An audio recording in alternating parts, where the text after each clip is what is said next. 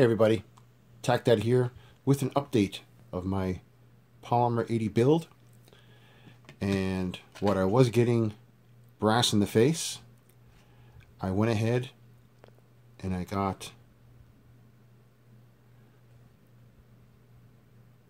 the 30274 ejector. And the shape of this ejector is different than the other one.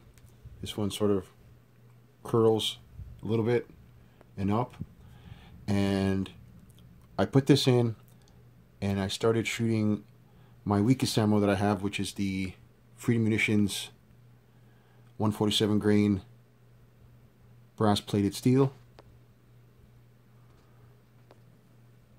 These right here. And yeah, this says steel, but uh, these are brass plated.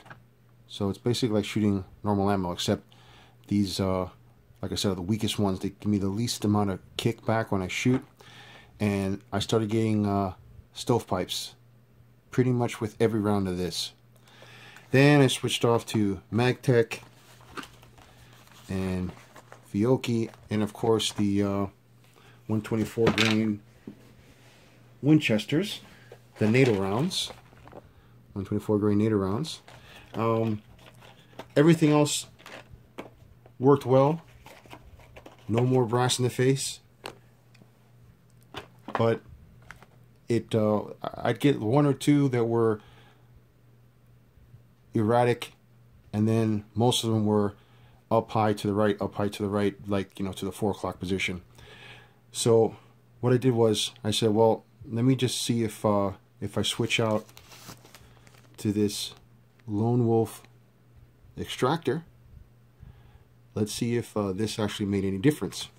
And actually, when I switched it out to this to this extractor, there it is in there. Can't really tell; it's not labeled. But when I switched out the extractor, then I had no failures at all with any of the ammo I had with me. Nice ejection. Even the weak ammo, even though it wouldn't eject very far, it would clear the barrel, clear the slide, and every ammo I had locked the slide back to the rear. So I'm counting this as a success. Very awesome, very sweet. Um, so I suggest if you guys have issues when you put these together, getting your standard uh, Gen 3 lower parts kits, if you start getting brass in the face, switch out the ejector, and unless you have a special, um, I, this is this wasn't an OEM, so I don't know if an OEM ejector would have worked fine, but I went with the Lone Wolf. The, the combination of the two awesome. Okay, so until next time, guys.